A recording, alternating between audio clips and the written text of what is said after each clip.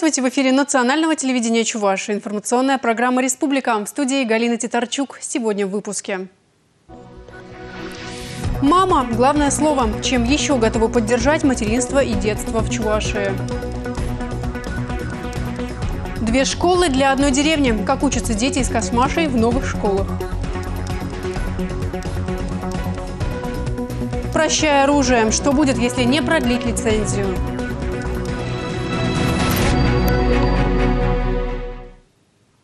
Чувашия готова к масштабной реформе демографической политики. Сегодня глава республики обсудил с членами правительства и общественниками перспективы национальной стратегии действий в интересах детей. Координационный совет накануне провел президент России, предложив целый ряд новых мер. Обо всем подробнее Дмитрий Ковалев. Демографическая политика страны выходит на новый уровень. Шесть важнейших инициатив, озвученных накануне в Кремле, должны стимулировать рождаемость. Сразу 60 регионов с начала следующего года получат федеральную помощь на выплату пособий за третьего ребенка. В этом списке после годового перерыва и республика. Президент России, начиная с 1 января 2018 года, установил суммарный коэффициент рождаемости 2. И тем самым мы с 1 января 2018 года попадаем в эту программу. И все дети, которые будут рождаться с 1 января 2018 года, попадают. Вслед за озвученной президентом страны инициативой на официальном портале органов власти опубликовали указ главы региона. Согласно этому документу в республике выплаты за третьего ребенка восстанавливаются уже с ноября. Мы принимаем это ответственное решение для того, чтобы дети, которые родились и будут рождаться еще до конца года, войдут в программу на получение пособий с 1 января 2018 года. Мы говорили, что мы должны создавать одинаковые равные условия для тех семей, которые на самом деле имеют третьего и последующих детей.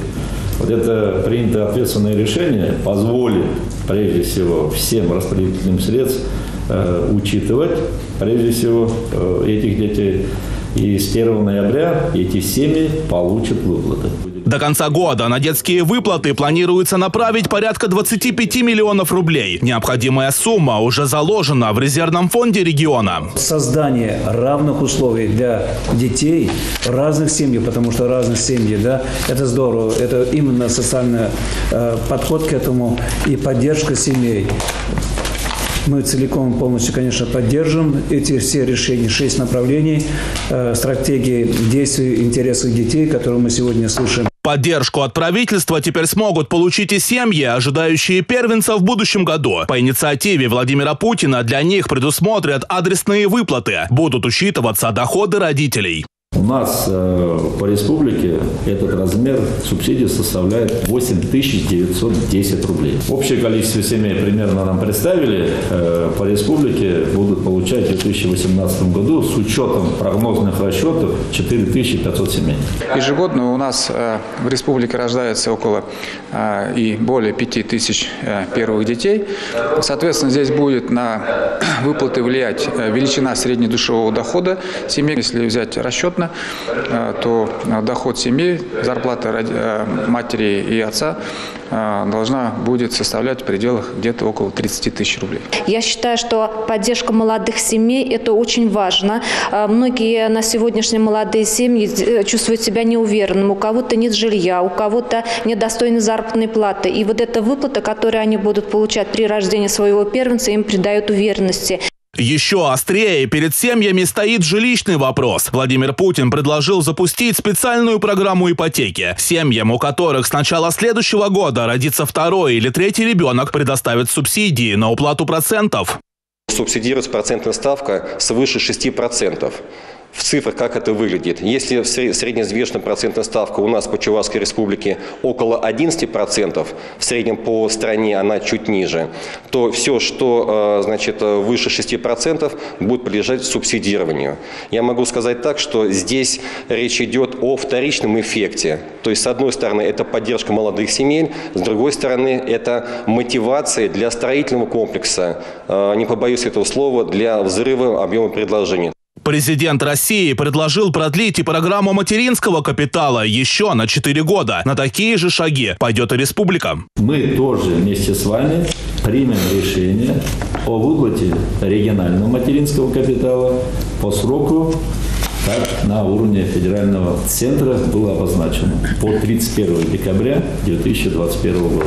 Возможности федерального и регионального материнского капитала будут расширены. Теперь его возможно использовать и на оплату услуг дошкольного образования. В ближайшие годы оно должно стать более доступным. Владимир Путин поставил задачу ликвидировать очереди в яслях для детей от двух месяцев и до трех лет. Региональная власть, в том числе и сфера образования, будет отрабатывать свои вопросы в, в плане значит, э, разработки методик и устройства садики, дошкольное образовательное учреждение детей, которые довольно значит, ну, малы и в какой-то степени они не самостоятельны. Тем самым освобождая трудоспособное население, э, молодежь Э, от вот этих забот для того, чтобы они могли работать уже на благо своей семьи. В регионах страны должна начаться и масштабная программа модернизации детских больниц. Появление такой программы 30 миллиардов рублей по 10 миллиардов в течение трех лет э, с условием софинансирования мы к этому готовы, потому что приоритетом э, направления работы главы Чувашии по демографии как раз и по созданию комфортных условий пребывания наших детей, наших учреждений здравоохранения, ну и, конечно, есть проект строительства перинатальных центров Российской Федерации, который... Трудоспособное население, э, молодежь э, от вот этих забот для того, чтобы на благо своей семьи. В регионах страны должна начаться и масштабная программа модернизации детских больниц. Появление такой программы... политики. Дмитрий Ковалев и Расиль Бухаметов. Республика. Глава Чувашии подписал указ о почетном знаке «Материнская слава». Учреждение указанной государственной награды направлено на повышение роли матери, воспитание детей и укрепление семьи и станет свидетельством государственного и общественного признания заслуг матерей. Эта награда, как государственная награда, она даст право женщинам на присвоение звания ветеран труда Чувашской республики, получение не менее важного, не, не менее значимого звания. Ветеран труда Чувашской республики, так же как ветеран труда, который, который присваивается звание по российским наградам, получает у нас ежемесячную денежную выплату в размере 1100 рублей и получает они право на денежную компенсацию за услуги связи. Развивать в Чувашии систему водоснабжения и водоотведения с помощью средств нового банка развития. Вопрос участия республики в федеральном проекте обсуждали во время рабочей встречи главы региона Михаила Игнатьева с представителями банка и делегацией Фонда инвестиционных строительных проектов. Минстрой России проводит конкурс среди городов, расположенных на Волге. Перспективные экологические программы будут включены в инвестиционный проект. Он финансируется за счет средств нового банка развития, который создан странами-членами БРИКС. Вице-президент банка господин Ксианжу и глава республики Михаил Игнатьев обсудили перспективы развития системы водоснабжения и водоотведения Чувашии. Мы имеем определенный опыт э, по работе с мировыми банками, отдельные проекты у нас реализованы, успешно могу сказать. Международные отношения с странами БРИКС, они сегодня очень благоприятные. И к нам есть доверие банковских структур мирового уровня. В первом квартале 2018 года подведут итоги конкурса, чтобы следом организовать торги по определению подрядных организаций. Чувашия для участия в конкурсном отборе готовит четыре экологических проекта на общую сумму в 970 миллионов рублей. На днях в интернете появилось видеообращение жителей города Алатырь к президенту страны. Жильцы дома номер 4 по улице Горького пожаловались на ряд недоделок в доме, которые мешают им нормально жить. Для выяснения обстоятельств на место выехала комиссия во главе с руководителем Государственной жилищной инспекции Чувашии. Этот дом по улице Горького в Алатыре заселили в 2013 году. Новоселы радовались недолго. Постепенно стали замечать недоделки застройщика. По стенам дома расползлись трещины, не работает вытяжка. Отсюда повышенная влажность и даже слизни появились, жалуются жильцы. И так уже 4 года. Она каждую зиму у нас проходит воздух, сырость, сырость воздух, и мы как упал я плесень, и обрабатываю три раза от плесени. Главный жилищный инспектор Чувашии Виктор Кочетков сам осмотрел квартиры этого дома. Система вентиляции действительно оставляет желать лучшего. Естественно, вентиляция в жилом помещении должна обеспечиваться путем притока э, воздуха. То есть приток воздуха, он должен быть организован. Как бы это э, ни звучало, да, там, да, там жильцы скажут, это мы должны работать постоянно с открытыми форточками, фрамугами, да, но э, у вас есть режим микропроветривания. Если режим микропроветривания вас не устраивает, есть различные э, дополнительные приспособления. То есть, э, да, при строительстве дома они не были э, учтены и проектом не предусматривались, но э, единственная установка этих э, устройств в одиннадцатой квартире пожаловались, прошлой зимой промерзли стены. Чиновники обещали, когда похолодает, направить сюда инспекторов, чтобы провести еще одно обследование подтвердится, либо не подтвердится. С учетом того, что как бы, застройщик подтвердил, что на самом деле а, ими были приняты определенные меры по дополнительному утеплению перекрытий, но учитывая то, что все-таки у них здесь монолитный пояс э, был проложен, то есть по, как раз по периметру здания э, под плитой покрытия последнего этажа, да, то есть э, не исключаем такой факт, что все-таки э, может быть промерзание происходит э, при очень низких температурах наружного воздуха. Но теплоизоляционное обследование все это покажет. После комплексного обследования дома всеми специалистами будут приняты конкретные меры. Этот вопрос вполне решаем, считают представители комиссии. Но почему власти города Алатырь тянули с этим несколько лет, пока не совсем понятно. В результате нашлись доброжелатели, которые и помогли людям записать видеообращение и даже текст отредактировали. Мы же не думали, что нас в интернет выставят. Надо, ведь это только обалдели, обалдели. Мы как, а, а что думать? Никогда вот не думать, надо бы предупредили. Исходя из вашего ролика, создается как будто здесь дом действительно реально аварийный, здесь ничего не функционирует. Да, от вас поступали обращения в течение вот 16, ну, 16 года у нас начали ну, да, а 16-17 да. год. А, соответственно, наши инспектора. То есть, ну, ну что-то нам устраняли, конечно, мы не говорим. То, что что-то устраняли. Но у нас больной вопрос вот по вентиляции. Ну, вроде бы обещают, как нам что-то сделать, не знаю. Потому что это действительно мы выезжали по всем вопросам, которые вы ставили, то есть ну, у вас Ну да, да, мы не против, да, помогали нам.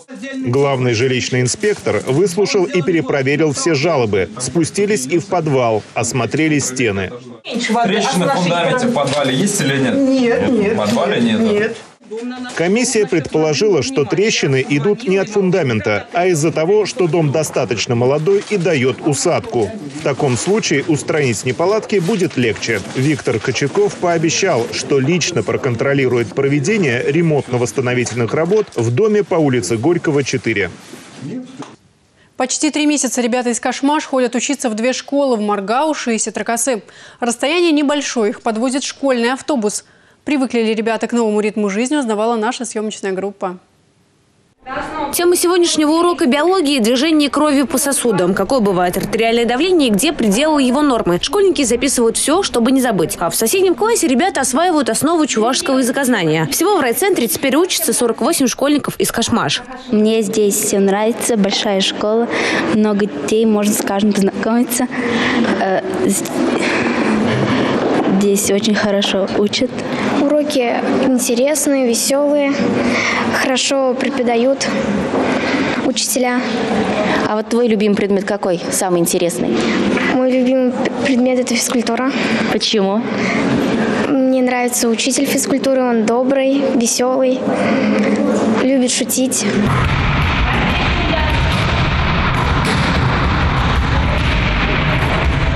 Полюбить уроки физкультуры в Маргаушской школе легко. Большой спортивный зал, специальные тренажеры. Школьники тренируются с удовольствием. Они очень много получают здесь. Действительно, мне классная работа, очень хорошо ведется в нашей школе.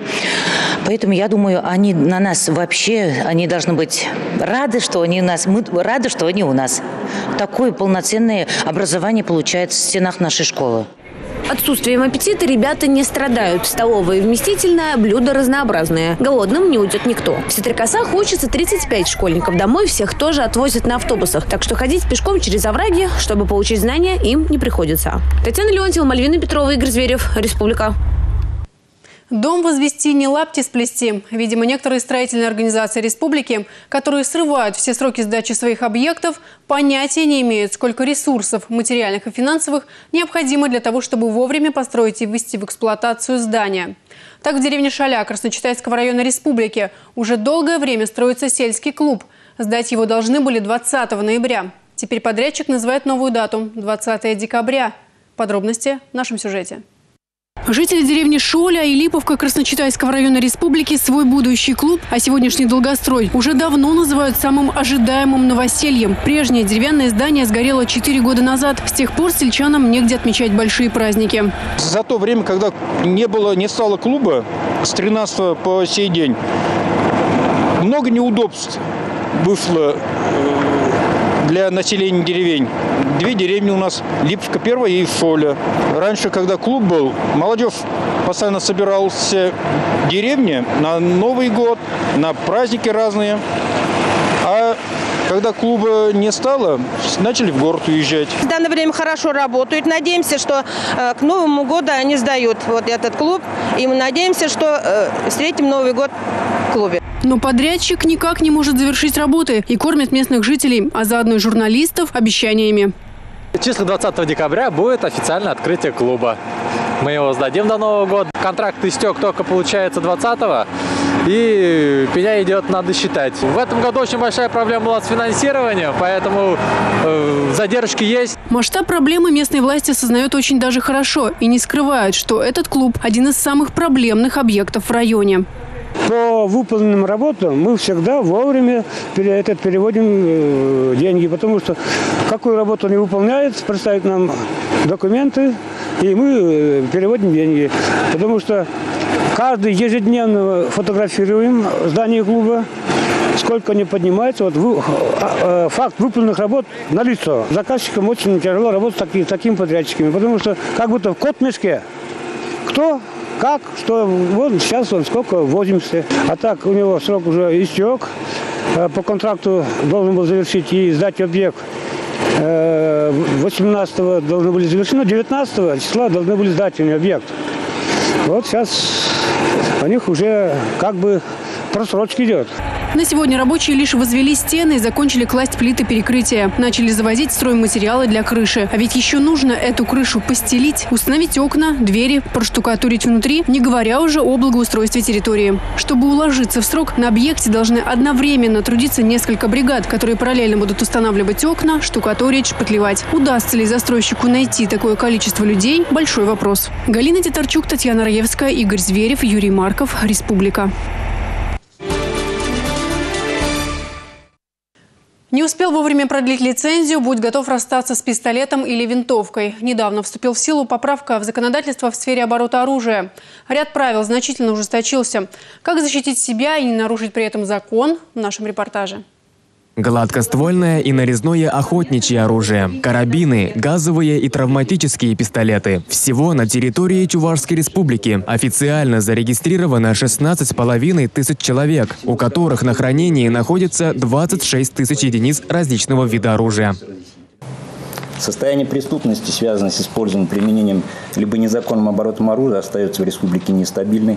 В текущем году совершено 105 преступлений, когда различные виды оружия выступали в качестве предмета совершения преступления, из которых связано с пресечением незаконного оборота оружия 70 случаев. Число выявленного противозаконного изготовления оружия сократилось с 14 до 9 фактов.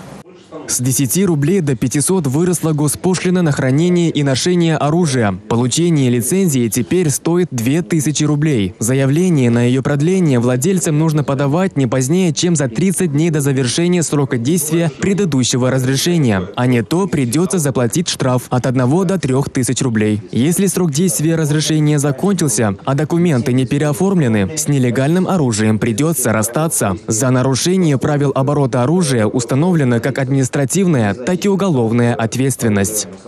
В соответствии с Кодексом об административных правонарушениях Российской Федерации предусмотрены штрафные санкции от 500 рублей за нарушение владельцем правил перевозки зарегистрированного оружия до 100 тысяч рублей с конфискацией оружия за совершение владельцем оружия, находящимся в состоянии опьянения, выстрела в населенных пунктах либо ином неотведенном для этого месте.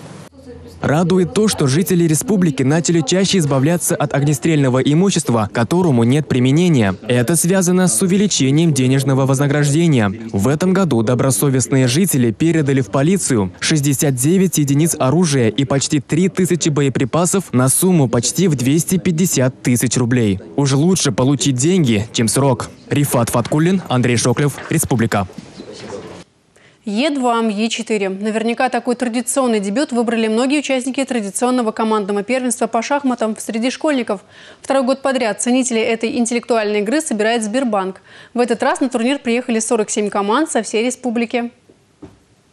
Вилка, гамбит, цукцеванка, эндшпиль – эти термины наизусть знают юные шахматисты, которые приехали на турнир. 47 школ представили в Чебоксарах свои команды. Антон Смирнов, ученик 44-го Чебоксарского лицея, обладатель второго места на первенстве ПФО, стал самым сильным игроком турнира. Мне главное играть и выступать хорошо.